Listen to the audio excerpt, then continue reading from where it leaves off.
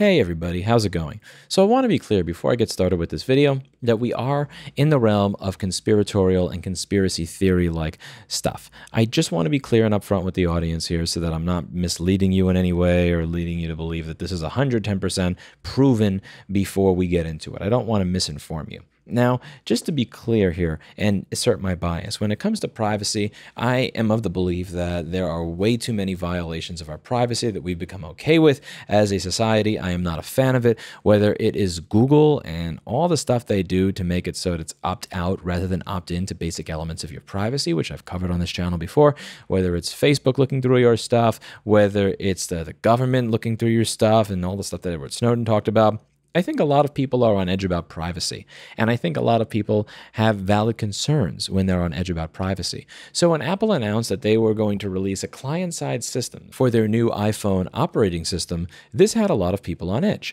The idea is that they are going to compare and contrast images that you are syncing to iCloud on your iPhone with known CSAM. And because I don't want this video to end up on the bottom of an algorithmic ocean, I will leave you to Google what CSAM is and figure out for yourself what that is rather than state the obvious.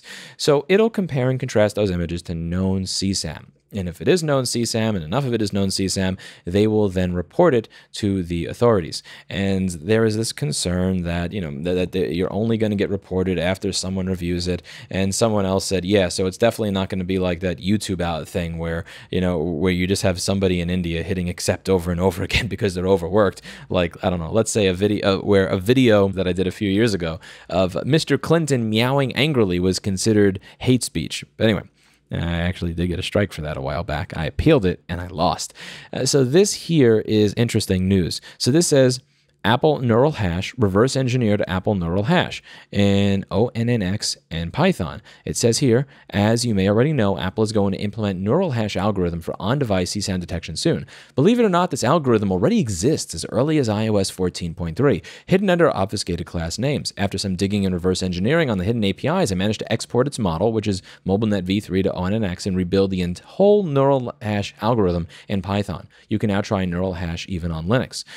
No pre-exported model file will be provided here for obvious reasons, but it's very easy to export one yourself following the guide I included with the repo above. And I will leave a link to this as well as the GitHub where all of this is posted for anybody who's curious and wants to try this for themselves down below. Now, what's really interesting here is that when Apple came out with this, you have to understand the way perceptual hashing works, it's not like MD5. It's not like, you know, the PAR2 files that you get when you download a file from Usenet to make sure it's 100% exactly the same as another file. Perceptual hashing is designed in a way where a file can be minorly different, but you're able to tell if it's the same general idea. So if two different people take a picture of me on their cell phone, the whole idea is that those pictures should be different enough that they don't have the same perceptual hash. However, if you take a picture of me on your cell phone and then, I don't know, you crop it, you change the format, you change the color of it in some way, that the perceptual hash should still be able to tell if it's the same file. And this is what they are using. They are comparing what it is you are going to be syncing to iCloud while it is still on your phone to known CSAM material. And again, please do Google what CSAM is. I'm not going to say what it is in this video for the obvious reason that the last time I did that, the video was uh, buried in an algorithmic ocean. Now, what's really interesting about this is that one of the main ways that Apple was saying that this is something that you know you're not going to be able to reverse engineer. It's not going to be able to be used for bad things. It's not going to be able, you know, it's not going to have all these false positives. It's going to be really difficult, if close to impossible, for anybody to do something bad with. Is that the the whole basis for this, their implementation, was that they had gone to great lengths to make sure the model couldn't be reverse engineered. However, as my good friend Daniel Smullen says, if this is the same model then it's been inverted, anyone will be able to make innocent images appear as CSAM and vice versa. And also the fact that this was found in a released version of the operating system before it was announced is a clear indication that you can't trust Apple to not make unannounced changes. So this is really big news if it is true. And I want to be clear, there is an if, if it is true if we can trust this gentleman on Reddit that who has released this code and if this is a proper reverse engineer of what Apple is using. If it is, then that's really freaky. And again, I'm just going to quote my good friend here who knows way more about this uh, than me. And he says, You're right in that the way this is supposed to work is it's to generate a hash then match that hash against a database of known CSAM hashes. And the technology then mediates that matching is private set intersection. The reason why they've used this and not just encrypted the hashes, but rather done this more complex approach is to hide both the hashes, not just the CSAM, but the ones of the photos in your device. The reason for this is that if you have access to the model and you can ask it whatever you want anytime you want, not mediated through this private intersection, you can do what's called a model inversion, where basically you keep probing the model in order to figure out what was used to train the model to produce the values that it does. You're inverting the output that it gives you in order to discover the input. If this is the same model that's trained on CSAM images in order to discover features which make them distinctive as CSAM and not say just any other random image, like what they use to prevent false positives for any image that just loosely resembles the images in their database, you can discover that training data and potentially reveal the CSAM, at least insofar as revealing the essential features of the CSAM that makes these images distinct. So that is one problem. Now, again, we are getting into uh, conspiratorial thinking here. There's a lot of if that's involved. If what this guy posted is actually correct, if this is properly reverse engineered, and if, this is a big if, someone gets their hands on CSAM that is known to be in this database. That is a lot of ifs.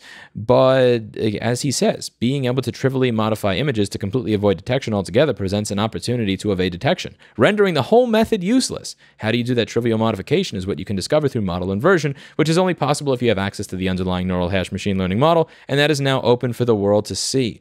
So this is a big problem. And not only would the release of this make this pretty useless for many reasons. The first reason that it would be useless is that if you are in possession of something that is known to be part of this hash, you can figure out how to modify it in a way where it won't be caught. But B, it only detects known CSAM. It doesn't detect new CSAM. So if someone creates new CSAM, it's not going to be detected by this at all because it's only looking for known CSAM. But if you have known CSAM that's in this database, then you can use this hack to be able to figure out if that's you know if, if that's a part of it, which is uh, this is just going down a road that I personally don't want to go down, and I get it. And one, you know, uh, there are critics on this channel that have said, "Well, you know, Microsoft and Google are doing the same thing on their cloud servers." And listen, I don't like that this is being done anywhere, and I agree with you that if we are going to uh, push back against this, we should have pushed back a long time ago before the scanning became client side. I agree with you. For many people, once they know that the scanning is being done client side, even if it's only being done for items that you personally chose to sync to the cloud database, that's the point at which it just crosses the line that makes it a little too weird for people. And I'm kind of curious what you all think of the fact that someone has released this. Do you believe that this is credible? Do you believe that this is a proper reverse engineer? Do you believe that this is similar code to what it is that Apple is using? And if it is, do you think that this is going to result in this entire system being rendered useless? Do let me know in the comments down below.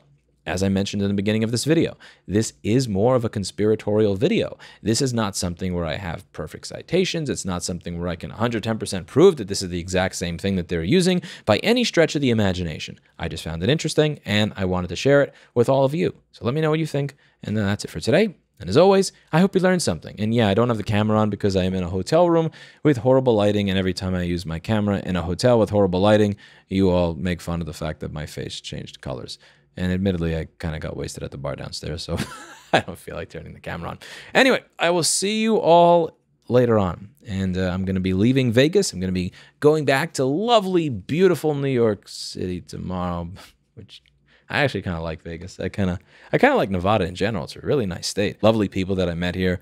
Uh, you know, everybody seems to be fairly cheery and really happy that they moved here. My the Uber driver had moved here from uh, California. I met some people that moved here from New York, and the people that I met in Nevada, really nice people. I'm going to make sure to take some time to visit the state when I when I do get time. Anyway, I will see you all later. That's it for today, and as always, I hope you learned something. I'll see you all in the next video.